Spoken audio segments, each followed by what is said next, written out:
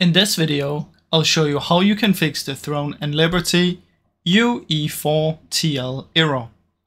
Now, this is what causes your game to crash and freeze and stuff like that. The first thing we want to try is right click on it, go to properties, in general type dash dx11 in the launch options. After that head over to installed files and verify integrity of game files. Once you've done that, what you want to do is press on browse, go into TL, binaries, 64 or 32 depending on which one you have, and tl.exe, right click, properties, compatibility, and activate these two. Once you've done that, try and launch the game. If it still doesn't work, try and check if you have a Windows update. If you have one, just take it. And after that, what you should do is do a clean reinstall of Throne and Liberty.